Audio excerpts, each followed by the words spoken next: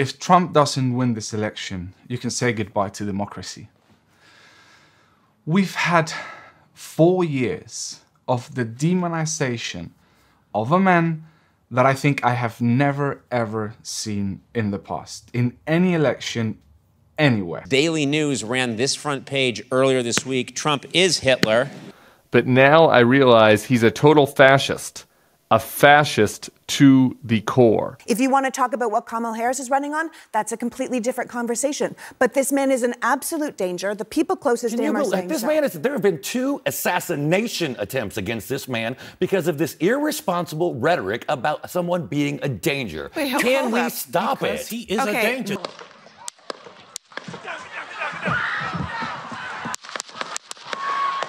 Can we stop it?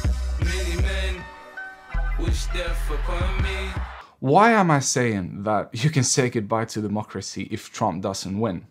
It's very simple. Whatever happens in America happens six to eight years later in the rest of the world.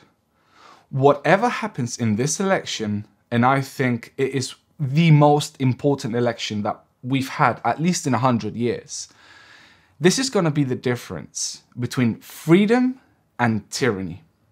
And I don't know if you already can tell, but I am rooting for Trump.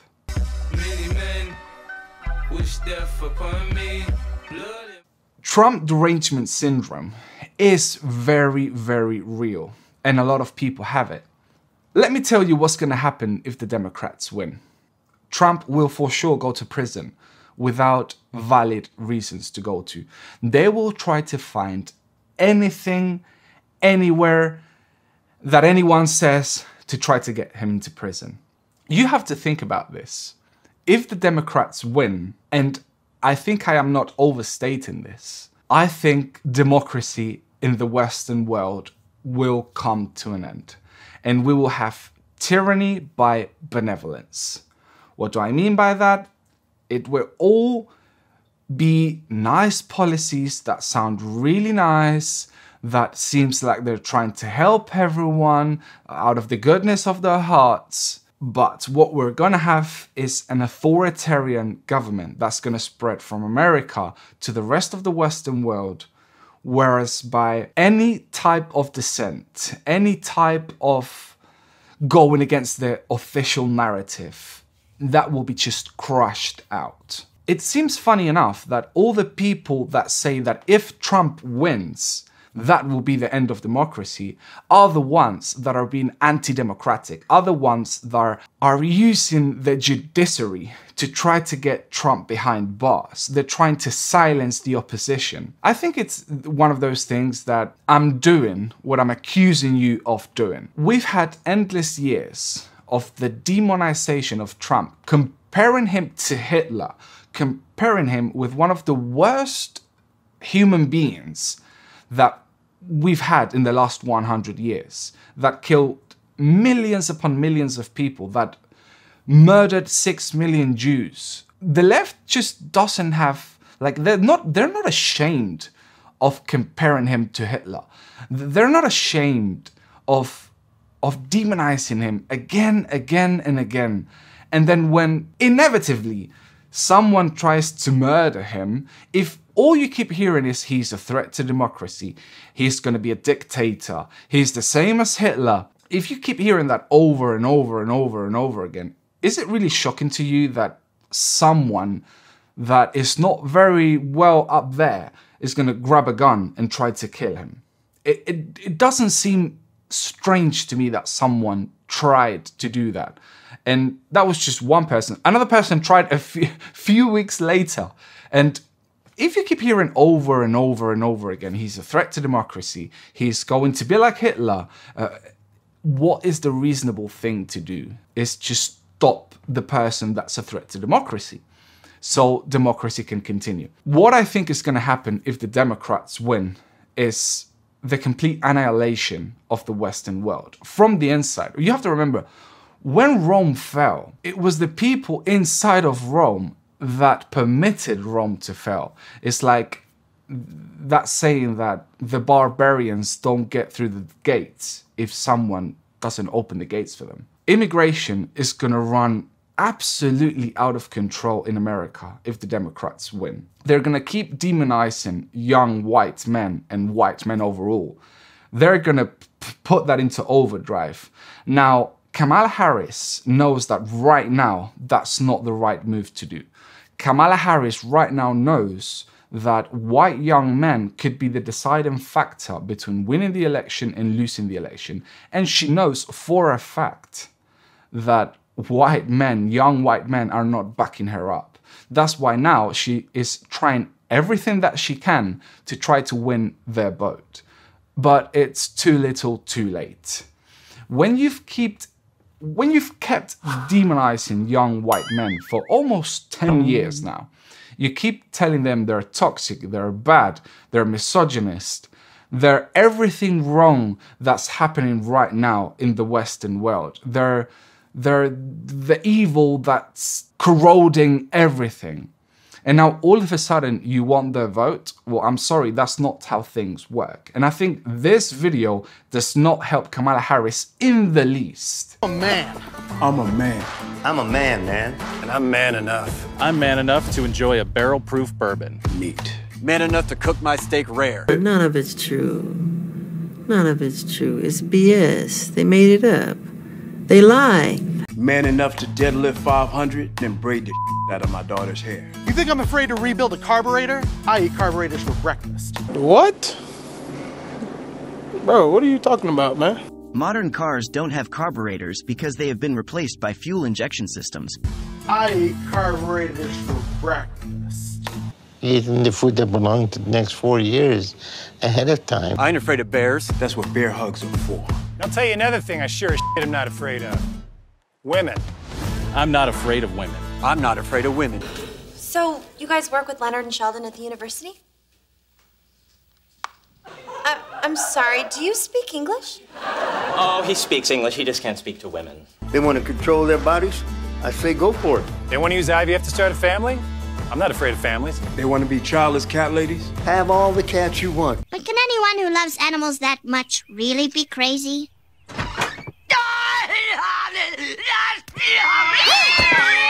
Woman wants to be president? Well, I hope she has the guts to look me right in the eye and accept my full-throated endorsement. Wow, that is really hard. You really think you can go all day long? Full-throated endorsement. Well, you always left me satisfied and smiling, so. She has the guts to look me right in the eye and accept my full-throated endorsement. That's what she said. Oh Michael. Michael, please. Because I'm man enough to support women. Man enough to know what kind of donuts I like. Man enough to admit I'm lost, even when I refuse to ask for directions. Man enough to not ban young women from reading Little Women. Or one of those pants books that the sisters like. I'm man enough to raw dog a flight. It sucked. Not worth it. I'm man enough to be emotional in front of my wife. In front of my kids. In front of my horse. I'm man enough to tell you that I cry at Love Actually. Goodwill Hunting. West Side Story. That and Predator. And I'm sick of so-called men domineering, belittling, and controlling women just so they can feel more powerful. That's not how my mama raised me. I love women. I love women who support their families. Women who decide not to have families. Women who take charge. And I'm man enough to help them win.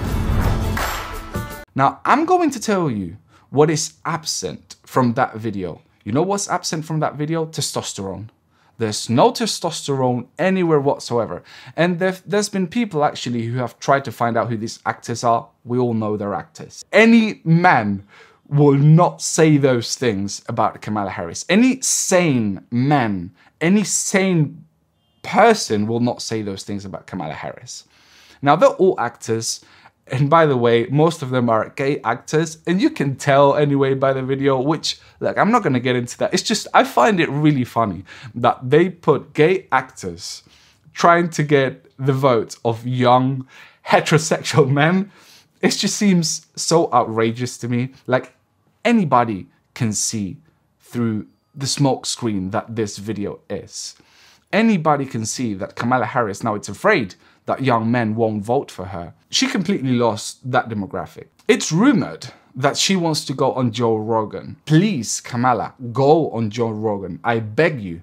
We want two hours of your undivided attention to someone without a teleprompter. By the way, I'm not reading anything right now from a teleprompter. And I am nowhere near as versed as Kamala Harris should be. You know, I'm just a stupid guy in his living room with a camera. And I can say out of the cuff many, many things that I think Kamala Harris would have trouble keeping up with. I find it hilarious all those times when her teleprompter mysteriously breaks, which I think someone is just playing a trick on her. So 32 days. 32 days. Okay, we got some business to do. We got some business to do. All right. 32 days. It could be that it breaks, whatever. And she just goes round and round in circles. She cannot keep a thought or a line of thought on a conversation and just circle back to where she started with a line of thought. Usually, when people try to do a speech and they do it off the cuff, it's really, really difficult. And I can attest to that. As in, I've been doing YouTube for a few years now with no success, but I'm trying my best. And it's really, really hard to not have a teleprompter, get a line of thought across, and then go on a tangent, then bring it back to that line of thought that you were starting with, then go on a tangent again and wa- wave it all together, which was so funny. I saw Trump on um, on a podcast the other day, and he called it the weave. I'm telling you, it is really, really extremely hard to do. You have to be very quick of thought. You, you have to have all your wits with you to do that. And Trump has it. We can tell that Trump has it. Oh, he rambled. I don't ramble. If I I weave. start a story, Yeah. what you do is you weave things and you do it. you have to have certain things. You need an, you need an extraordinary memory because you have to come back to where you started. Yes. You always a weave is only good They if would you give come you credit back. for that. That's true. That you could go all the way over here and then I get can back. go so far here or there, and I can come back to exactly where I started. Now, someday when you don't come back to where you started, You're Biden. Then you say, Do I agree with everything that Trump says? No. Do I agree with everything that Trump does? Kind of. Because we've already had four years of Trump and we've already had four years of Kamala.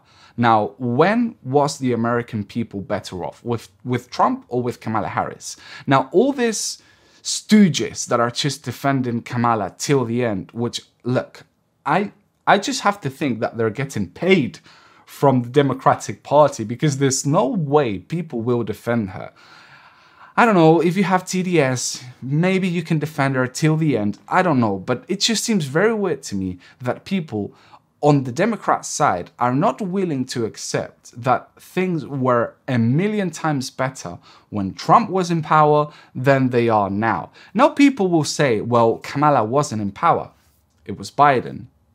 Really? Like, are you out of your fucking mind? Do you think Biden was in power these four years? Do you think he was the guy driving? Do you think he was the guy directing the show? If someone should have been directing the show these four years, well, it should have been the vice president. It should have been Kamala Harris.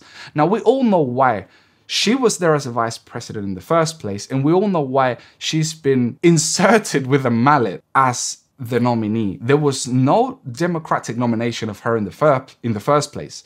She's just been put there. We don't know why. Not even the Democrats chose her to lead the party. And she's still there. Now, we all know why she's there. She's a DEI recruitment. She was a DEI recruitment as a vice president, and she is a DEI recruitment as the nominee for the Democrat Party. What has she done in all her amazing career as a politician that everybody keeps bringing up that she's been in politics for how many years?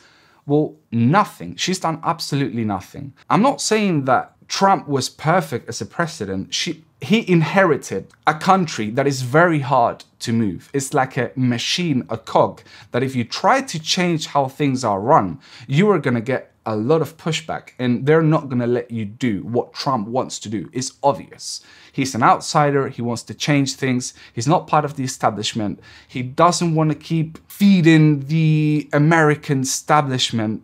And that you're going to pay a price for that. And I think it's obvious the last few months, the price that he's willing to pay. Many men wish death upon me. Why do I say kiss democracy goodbye. Look at the price President Trump is willing to pay to lead the American nation to better shores. And look at the price Kamala Harris is paying. None. Zero. Zero. None at all. Okay? Now, Trump is putting his life on the line for the American people. Is Kamala willing to do the same? I doubt it very much. Now, I'm not I'm not saying somebody don't nobody has to try to do a stupid thing to Kamala Harris. That is not what I'm saying at all. I'm just saying if you're an American person, just please weigh the differences between Trump and Kamala and think about how your country will be in the next years if Kamala wins and if Trump wins. Now, I'm going to tell you what will happen if Kamala wins. She's going to let in another 10 million immigrants into the country that will vote Democrat, while Trump will deport 10 to 15 million that are right now illegally in the country. If Kamala wins and lets in 10 more million 15 more million, 20 more million immigrants into the United States of America, what will happen is she is going to change the demographics of many of the swing states in the country, resulting in just basically a uni party in the United States where the Democrats will just win over and over and over and over again. Now, you might say, how can letting in 10, 15, 20 million illegal immigrants from countries that are antithetical to the values, principles, and ideas of the United States of America. Now, I will tell you why. They don't agree with the Democrat Party because a lot of these immigrants come from countries where the values that the Democrats promulgate, trans ideology, gay pushing gay rights till the end of the world, pushing women's feminism, revolution, freedom till the end of the world. Now, a lot of these immigrants come from countries where where their beliefs are the complete opposite of everything the Democrat Party stands for.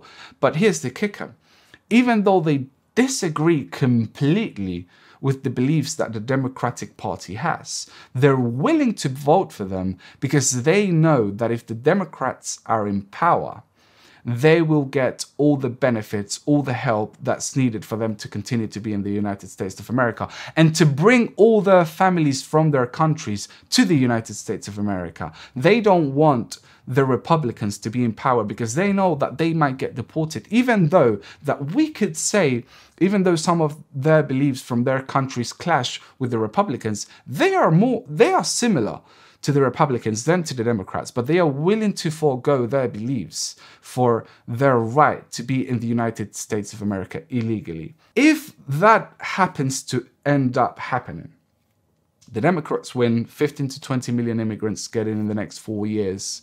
That will be the end of America as it is right now. Like I said in the beginning, the barbarians don't get in through the gates unless somebody opens the door for them. Now, we are at a point in our society where the barbarians, they are at the gates and somebody wants to open the door for them. If America sneezes, five years later, the whole world catches a cold. I really fear that if Kamala Harris wins in the next five to 10 years, the world will go down very, very rapidly. The Western world will go on a downhill spiral that is going to be very, very hard to get out of. I really like what if alt hist theory that we're going to have a civil or revolution war in the ne- in the upcoming years. Now, I know for a fact that some people are not going to go along with this. Some people are going to gather, they're going to unite, they're going to try to have a shared vision about how the future should look. They're going to try to defend their nation, be patriotic, and I'm just really afraid because people don't think about this. People people don't think about this. You speak to some people and they just mindlessly say, "Yes, we want a revolution, we want a war." Well, you don't know what the hell you're talking about. You don't know what that really means. If you knew what it meant, you would be scared of it happening. Me being scared of a civil or revolution, of a civil war or a revolution happening in the next five to 10 years, doesn't mean that I will back away from it or that I will be scared into a corner. Yeah, tough times lay ahead, and I really hope the American people can wake up and do the right thing for their country and for the world. America is the ruler of the world, the leader of the free countries, and I'm just afraid of what will happen if America goes down. Inevitably, the rest of the free countries will go down with it. American people, wake up, use your common sense to vote, and let's hope we can all get through this unscathed. Thank you very much for watching, and like always, see you in the next one.